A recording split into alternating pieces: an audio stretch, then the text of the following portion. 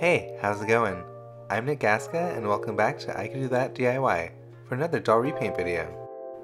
Today I'm going to be customizing Honey, the doll that I designed and created myself.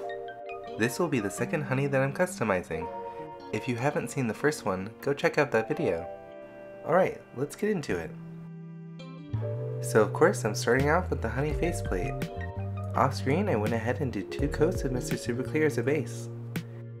Now using my Copper Beech watercolor pencil, I'm going to start sketching out the eye. Make sure to watch my other video where I prep and assemble the Honey Doll base body.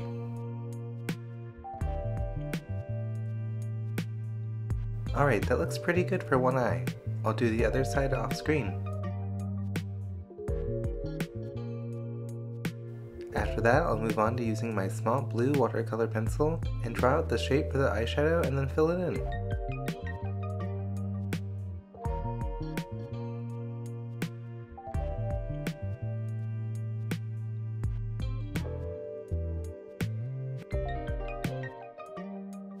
Cool. Now let's move on to adding some blush. I'm using my red iron oxide tint pan pastel. It's a new color for me and I wasn't sure how it would turn out, but I'm pretty happy with the results. I'll be using it on the cheeks and the lips.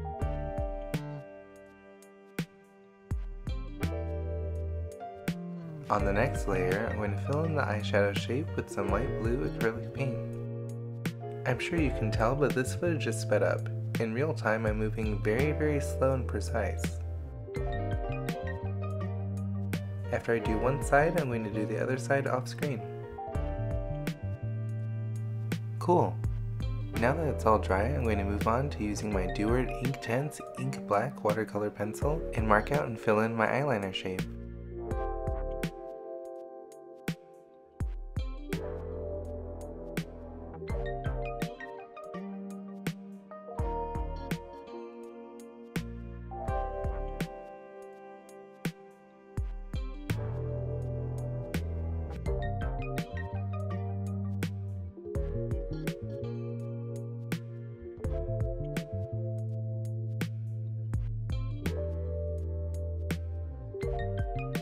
After that, I'll use my white watercolor pencil and color in the waterline.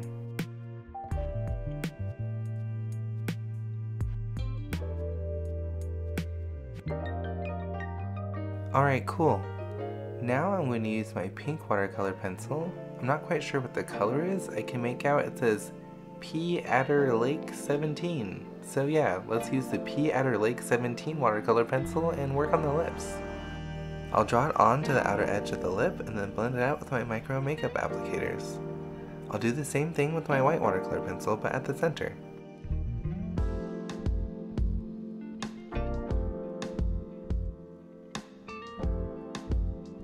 Now let's paint in the eyeliner shape with some watered down black acrylic paint.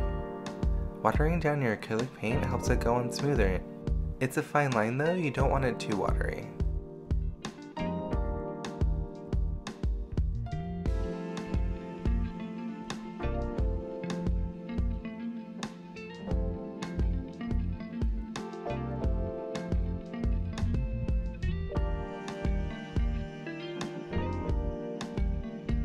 Cool. After that, I'll do the same thing with white acrylic paint in the white areas.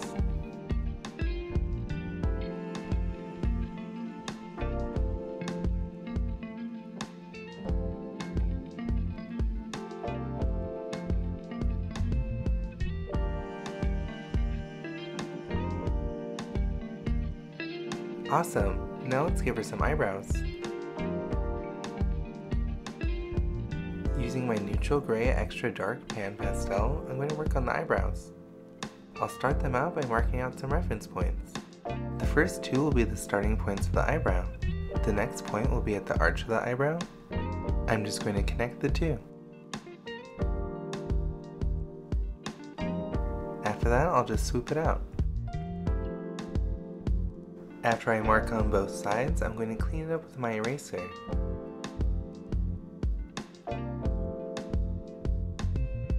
On the next layer, we'll give her some eyebrow hairs. I'll start at the outer edge with a somewhat horizontal stroke and swoop inwards. As I work my way in, the strokes will get more vertical.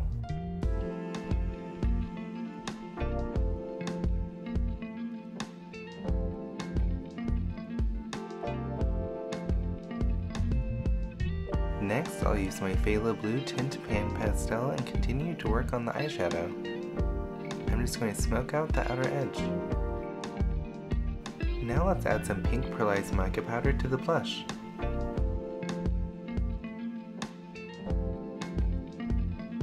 After that, I'll highlight the cut crease with a white watercolor pencil.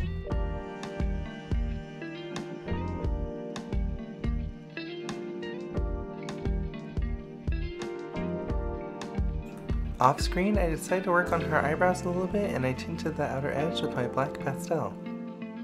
Now let's give her some eyelashes.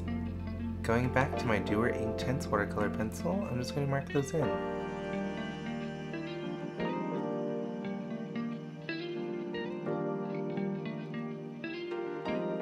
After I do both sides, I'm going to tint both tear ducts with my red iron oxide pan pastel.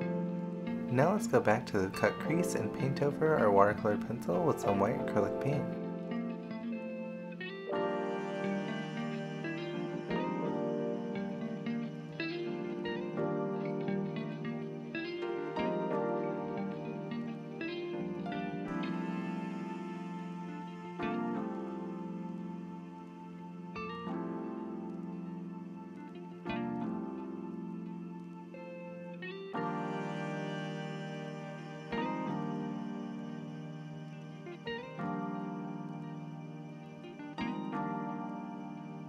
Cool.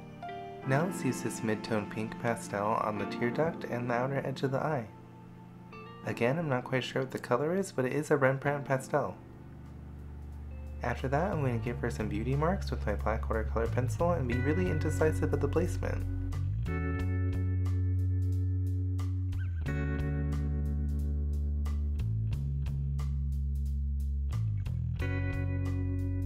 On the next layer, we'll give her some eyelashes.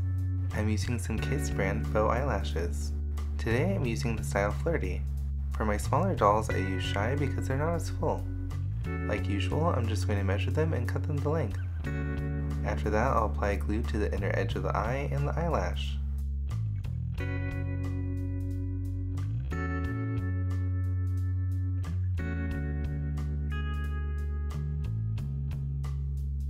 Then I'll plop them on and fuss at them a little bit until I'm happy with the position. I'm going to do both sides and set it aside to dry. After that, I'm going to double stack the outer edge of the eyelash to give it a little bit more wing. I'll be using a different, smaller eyelash.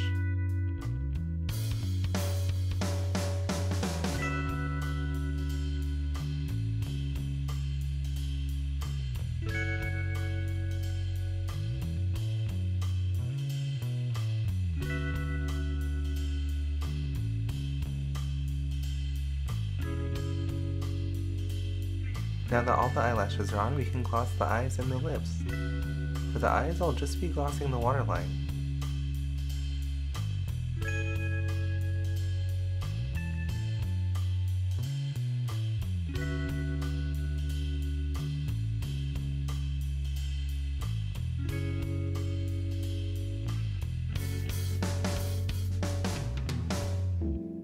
Now I'm just going to set this aside to let the gloss dry and move on to doing the eyes.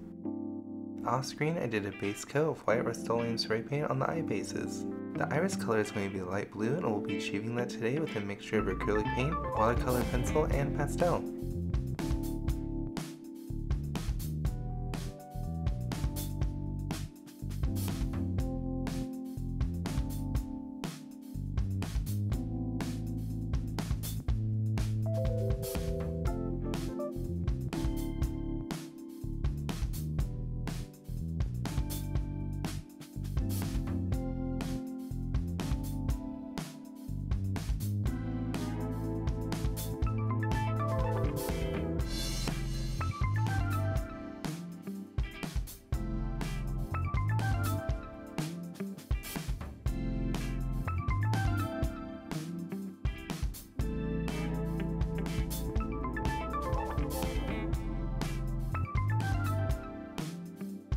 And of course, I cannot be helped when I'm adding glitter to the eye.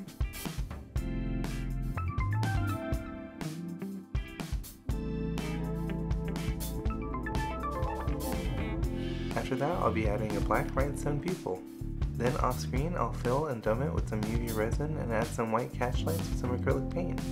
And because I'm the awesome content creator that I am, I forgot to film a whole section. I did not film my wig making, which is just a little bob style that I made. If you would like a more in-depth tutorial on wig making, go check out my other video. But yeah, sorry about that. Now we'll continue on to the sewing portion of our program. Here are the pattern pieces for the dress we'll be making today. I'll be making a sheath dress with two fisheye darts in the front and two darts that finish at the neckline opening in the back. The fabric we'll be using today is a blue and white satin jacquard. It has a really beautiful large-scale floral chinoiserie pattern.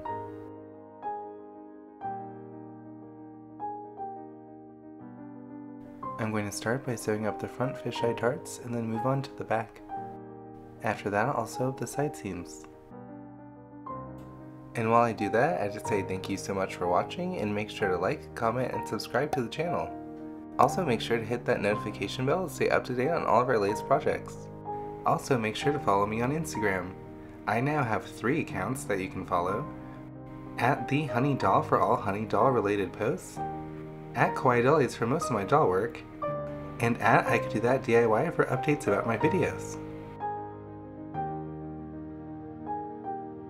Both the neckline and hemline opening will be finished with facings. I cut them out of a silk lining and finished the edge with some fray check. After that I pinned them to the top and bottom edges. I'll sew them to the dress and then understitch the seam allowance toward the facing.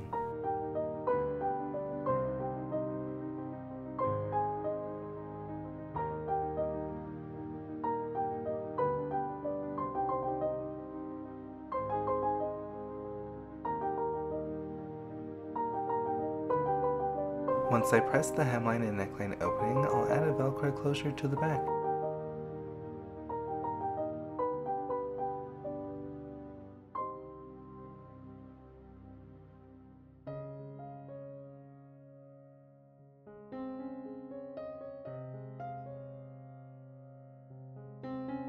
So here are all the pattern pieces for the jacket.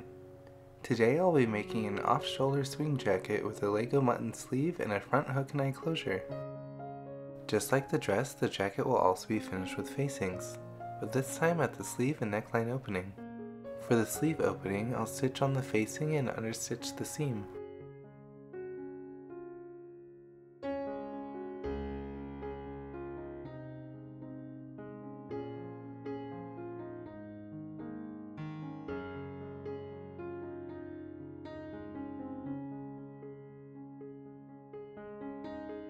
After that, I'll gather the cap of the sleeve and then set it into the armhole.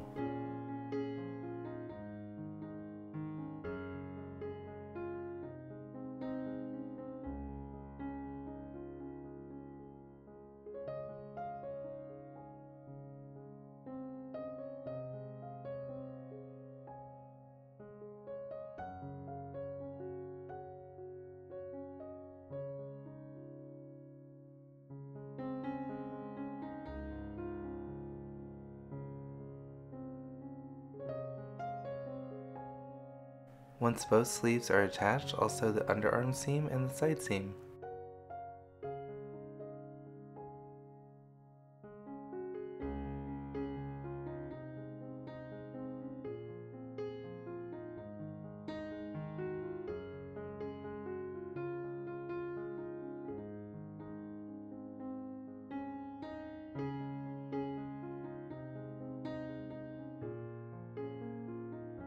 Next up, we'll be finishing the neckline and hemline opening with one giant facing.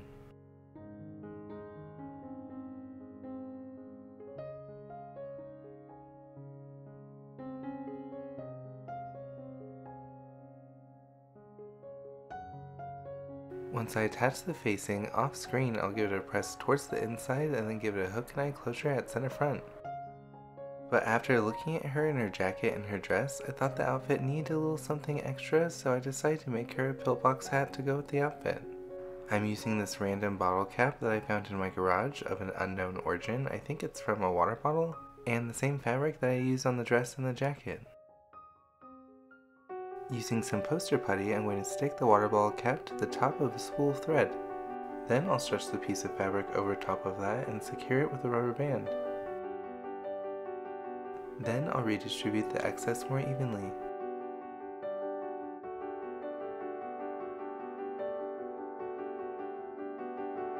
After that, I'll use my iron and a lot of steam to form it to the shape of the cap.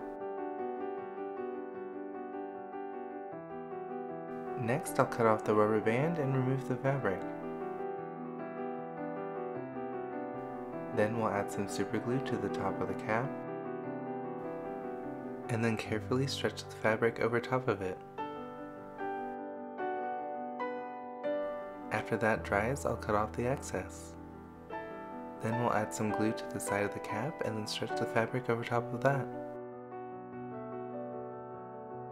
Cool! Now let's add some glue to the inside and then fold the excess toward that.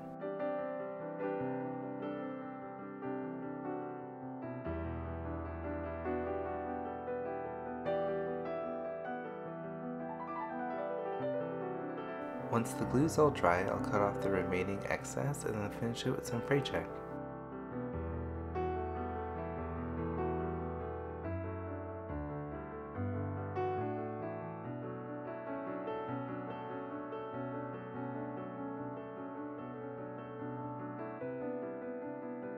Once the fray check is all dry, I'll use a piece of wire to add a hairpin to the underside of the hat so that it can be easily secured to the wig. After I bend the wire and cut it to length, I'll super glue it to the inside of the cap.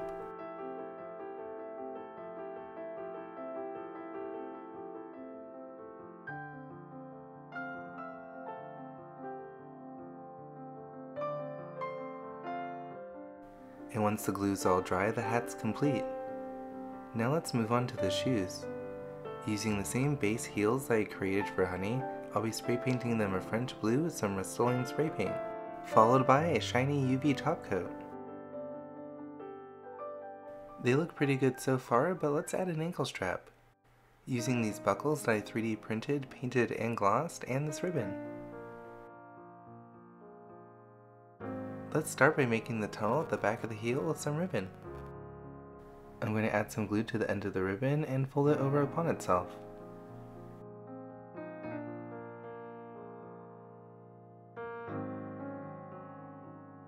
After that dries, I'll cut it to length. Then we'll add some glue to the end and glue to the inside of the heel. Next up is the ankle strap. Let's put another piece of ribbon through the buckle and then glue the end.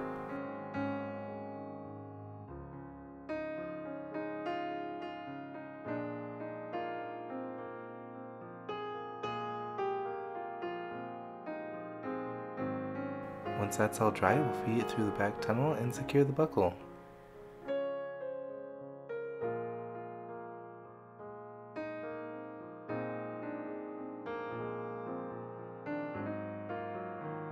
Then we'll measure the length, cut the end, and then burn it.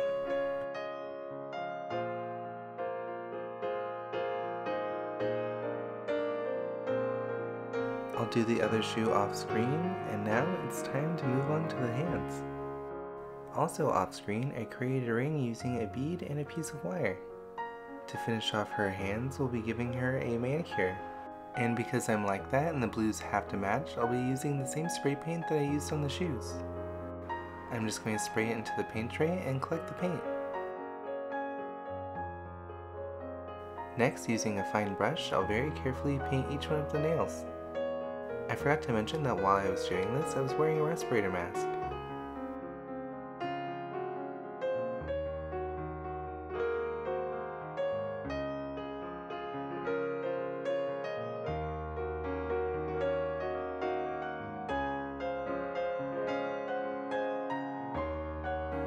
Once both hands are completely dry, I'll finish up the nails with some glossy UV top coat.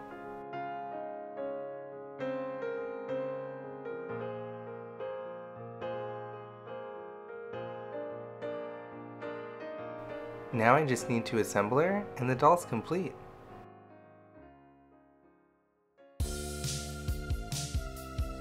So here she is, here's the finished result. For my second honey, I couldn't be happier with how she turned out. I really love the clean lines and the shapes that her design creates. All her little details are very special. I wanted to finish everything with a clean edge without any visible top stitching. I really like how that turned out. Her aesthetic definitely has a classic touch to it with a modern twist. It's giving me very 50s slash early 60s, kinda Jackie O vibes too. Jackie O as in Jacqueline Onassis, not Jackie O the doll customizer. Although I do really love her work. In the future, I plan on making more versions of Honey, as well as different faceplates for her. Eventually, I do plan on selling her, so make sure to keep an eye out for all future news about Honey. I hope you guys enjoyed the video and love Honey as much as I do. Let me know what you guys think in the comments below, I'd love to hear your thoughts. Like I mentioned previously, I'll be doing more versions of Honey in the future, as well as other dolls and monster mashups, so keep an eye out for all of my upcoming videos. Thank you so much for watching, and for the rest of the video, just enjoy the amazing photos.